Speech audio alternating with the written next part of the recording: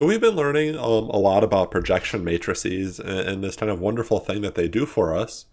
Um, we've shown how we can take a y column that represents an unsolvable problem, uh, multiply it by uh, a projection matrix, and we get a new column p.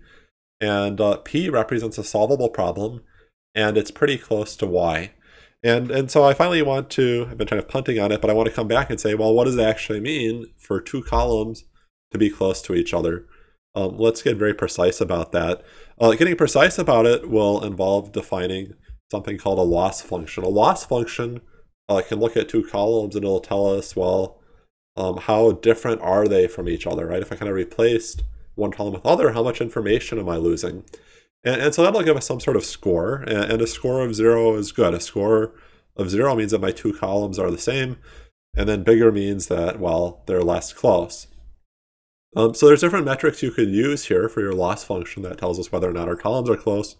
One is Euclidean distance, which I'm going to start with, and then the other is mean squared error. And, and, and kind of where I'm headed is that uh, I'm going to be able to make the claim after I define these things that the projection matrix is giving us the p that is as close as possible to the y. And, and that's true regardless of which of these two metrics you're using, right? So it's giving us the closest possible p that actually represents a solvable problem. Okay, so when we're talking about distance between two things, I think it's easier to start um, in terms of um, in, in, terms of thinking about well, what's the distance between two points, right? So let's go back to geometry, and uh, and eventually by the end of this, right, I may be talking about hey, I have this big crazy uh, data frame with lots of columns, and I say what the distance is between p and y, or between say p and a, right? How can I compute that? But let's start with points first. And, and so maybe let me just give one example.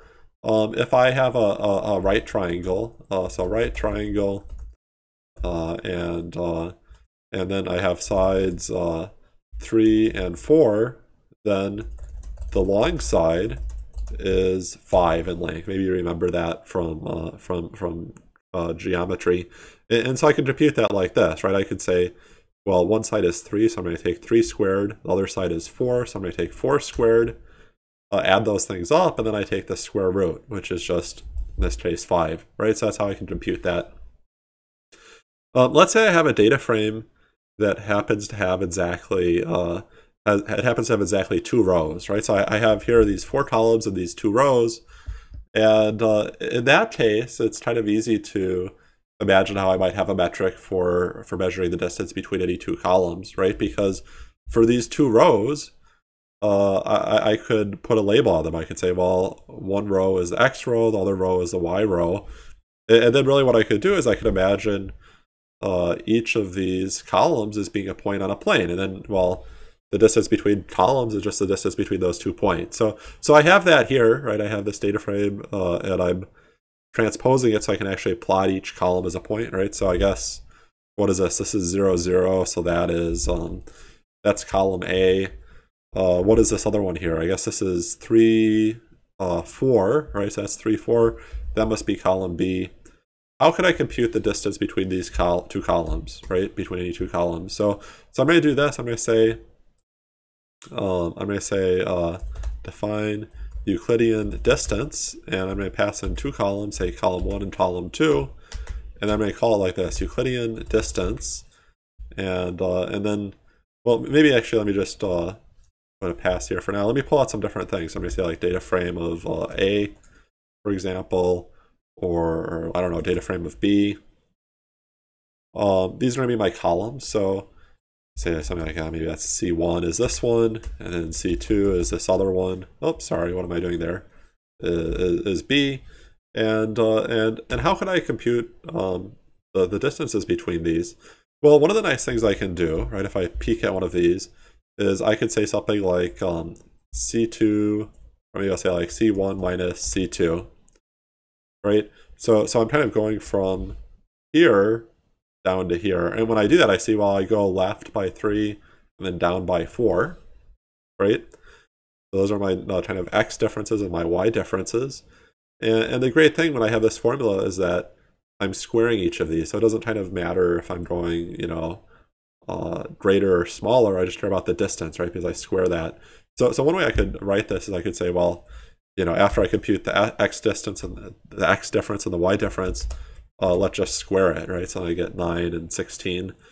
Um, and then if I wanted to, I could uh, add those all up. Remember that, you know, I square the x, I square the y, and then I, uh, I, I, take the sum of those things, right? That gets me to 25, right? So what have I done so far? I've, I've done my, I've done my squaring, I've done my summing, and, and now I want to take the square root, right? So let's do that. So the way I can take the square root is, well, there's different ways. I mean, I could say math square root like this.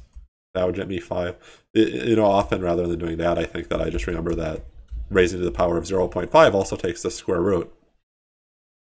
All right, so this is my formula, right? So I want to say, well, if I have these two columns, what is the distance between them? What is the Euclidean distance? And I could say, well, what is the Euclidean uh, distance of, of this column and, uh, and this column, right? It's like that. And that's 5. Um, what, what about up here? I think this is like twice as far, right? If I go from this one until uh, the D column. So let me try that. Hopefully that's 10 this time, right? Kind of double the distance. Let me let me give that a, a kind of a test, right? So I'm going to say A versus uh, D. Okay, that's great. Uh, let, let, me check these two. I think these two columns should be a little bit closer. What are those two? Those are the ones with the big X values. I guess that's like B and C, right? So so this should be kind of a smaller distance between B and C. And uh, just like that. And great, that's like 1.4 something. I think that's a square root of 2, right? Because it's 1 and 1. And so that's all great. And so what's what's actually cool is that um, you can imagine if I wanted to go to three-dimensional space, right? Maybe I would add like a zero. And, uh, and it turns out that this little formula here works for three dimensions as well and um, and so that's what you would learn if you're kind of doing geometry in three dimensions. And what's really cool is that the analogy works even if uh, you imagine some sort of like 10 dimensional space, right?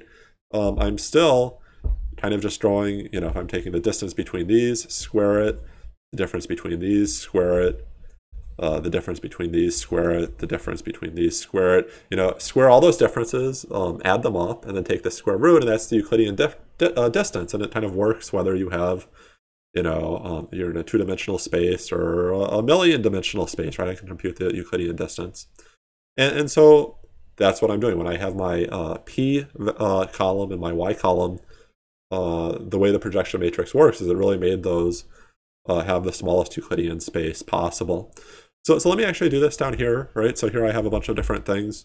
Um, here was my original Y column. Um, let me actually just run this thing. Guess I'm randomly generating data on the fly.